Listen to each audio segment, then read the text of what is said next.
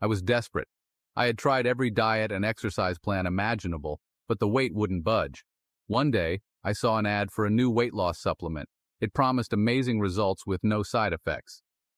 Hope surged in my heart. This could be the answer to my prayers. Without hesitation, I ordered the supplement. The bottle arrived two days later. I eagerly read the instructions, my excitement growing. This was my chance to finally achieve the body of my dreams.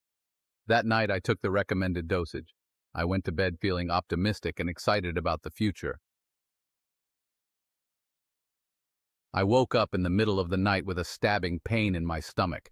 It felt like someone was twisting my insides. I tried to get up, but the pain intensified. I collapsed on the floor, gasping for air. Fear gripped my heart as waves of nausea washed over me.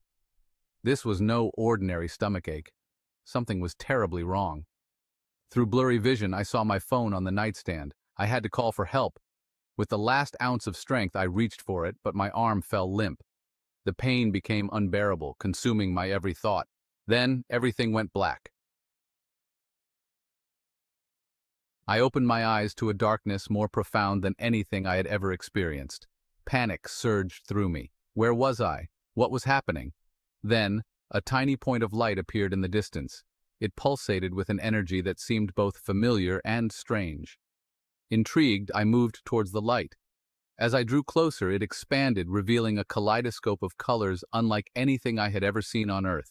They swirled and danced, forming patterns of breathtaking beauty. A sense of peace washed over me, calming my fear. This was not the abyss I had imagined. It was something else entirely. As I journeyed through this extraordinary landscape, a figure emerged from the light. It was a being of pure energy, radiating love and compassion. Its form was fluid, constantly shifting and changing, yet its presence felt strangely familiar. I knew instinctively that this being was my guide, sent to help me navigate this unfamiliar realm. Without words, my guide communicated telepathically, assuring me that I was safe and loved. It explained that I was in a dimension beyond human comprehension, a place where souls go after they leave the physical body. This was heaven, a realm of pure consciousness and boundless love. Section 5. The Importance of Being True. This chapter delves into the essence of living a life that is true to oneself, a journey that many embark on but few truly understand. As we soared through this vibrant world, my guide began to share with me the lessons I was meant to learn. The world around us seemed to reflect the inner beauty and potential that lies within each of us, waiting to be discovered and embraced. The first lesson was the importance of authenticity. Authenticity is not just about being honest with others, but also about being honest with oneself. It is about recognizing and accepting who we are at our core. I realized that throughout my life I had always strived to please others, often at the expense of my own happiness. This constant need for approval had led me to lose sight of my own desires and dreams. I had hidden my true self behind a mask of expectations, afraid to show the world who I truly was. This mask was a barrier preventing me from forming genuine connections and experiencing true joy. My guide emphasized the beauty and uniqueness of every soul. It is our individuality that makes us special, and it is only by embracing our true selves that we can truly shine. It explained that we are all expressions of the divine, each with our own gifts and talents to share with the world. These talents are not just for our own benefit, but for the enrichment of those around us.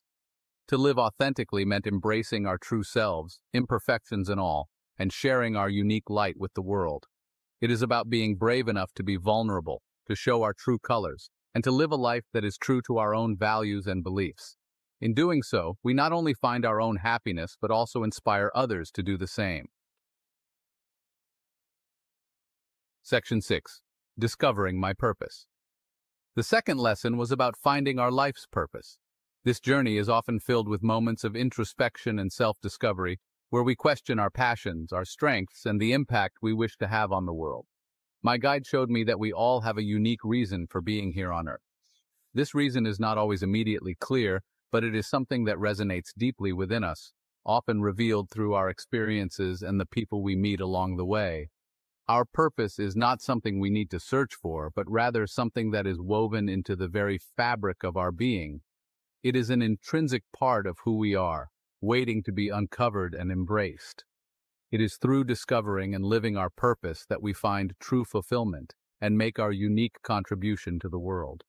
This fulfillment is not just about personal satisfaction, but about the positive impact we can have on others and the legacy we leave behind. I realized that my desire to help others had always been a driving force in my life. This realization brought clarity and a sense of direction as I began to see how my skills and passions could be used to make a difference. I had often felt drawn to careers in healing and counseling, but I had allowed fear and self-doubt to hold me back. These feelings of uncertainty and hesitation are common, but they can be overcome with the right mindset and support. My guide reminded me that it is never too late to step into our purpose. No matter where we are in life, we can always choose to follow our true calling and make a meaningful impact. The universe will always conspire to support us when we align ourselves with our soul's calling. This alignment brings a sense of peace and purpose, as we trust that we are on the right path and that everything will unfold as it should. Section 7. Love Without Limits The final and most profound lesson was the all-encompassing power of love. This love transcended all boundaries, whether they were physical, emotional, or spiritual. It was a force that could not be contained or limited by any means. In this realm, love was not merely an emotion, but the very essence of existence. It was the air we breathed, the light that guided us, and the energy that sustained us. Love was the fundamental building block of this reality, shaping every interaction and every moment. It permeated everything, connecting all beings in a web of unity and compassion. This interconnectedness was palpable, a living, breathing network of hearts and souls intertwined in a dance of mutual respect and understanding. I felt an overwhelming sense of love for all of humanity, even those I had considered my enemies in my earthly life. This newfound perspective allowed me to see the inherent goodness in everyone, recognizing that we are all part of the same cosmic family. My guide explained that love is the most powerful force in the universe, it is the glue that holds the cosmos together, the driving force behind creation and evolution. Love is the ultimate healer, capable of mending the deepest wounds and bridging the widest chasms.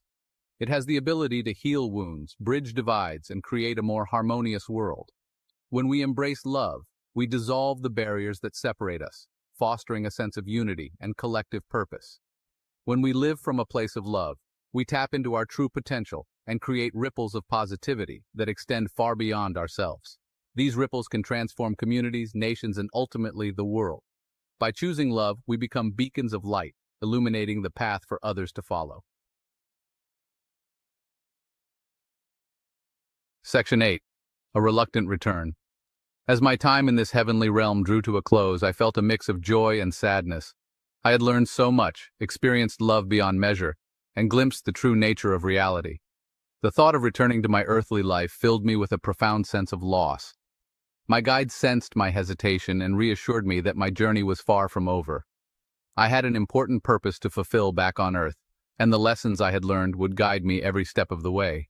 It was time for me to share my experience, to spread the message of love, authenticity, and purpose. Section 9. Life After Heaven with a heavy heart, I bid farewell to my guide and felt myself being pulled back towards the darkness. The next thing I knew, I was gasping for air, my body racked with pain. I was back in the hospital, surrounded by doctors and machines. I learned later that I had been in a coma for seven days. The weight loss supplement had triggered a rare allergic reaction, causing my organs to shut down. Medically speaking, I should not have survived. But I knew in my heart that I had been given a second chance, a gift from the divine to share my story with the world. Section 10. Embracing My Purpose. My near-death experience profoundly changed my perspective on life. I no longer feared death, for I had glimpsed the beauty and wonder that awaited me on the other side. I returned with a renewed sense of purpose, determined to live a life aligned with the lessons I had learned. I embraced my passion for helping others and enrolled in a counseling program. I began sharing my story with anyone who would listen, hoping to inspire others to live their truth, embrace their purpose, and cultivate a more loving world. Section 11. Longing for Home Even though I'm grateful for every moment in this earthly realm, a part of me still longs for the unconditional love and vibrant energy of heaven. I know that when my time comes, I will be welcomed back into that realm with open arms. Until then, I strive to bring a little bit of heaven to earth every day through acts of kindness, compassion, and love. For in the end, love is all that truly matters. It is the bridge that connects us all, the force that has the power to heal and transform our world.